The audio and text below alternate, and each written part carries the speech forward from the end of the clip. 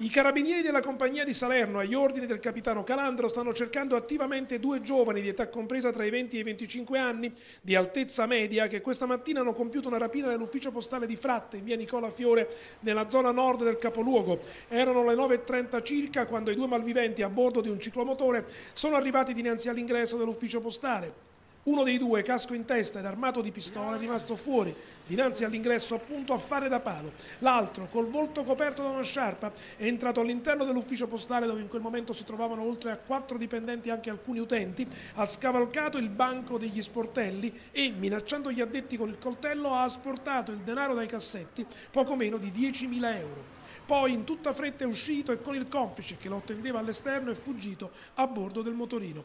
Prontamente intervenuti sul posto, i carabinieri hanno ovviamente raccolto le testimonianze dei dipendenti e visionato le immagini riprese dalle telecamere a circuito chiuso.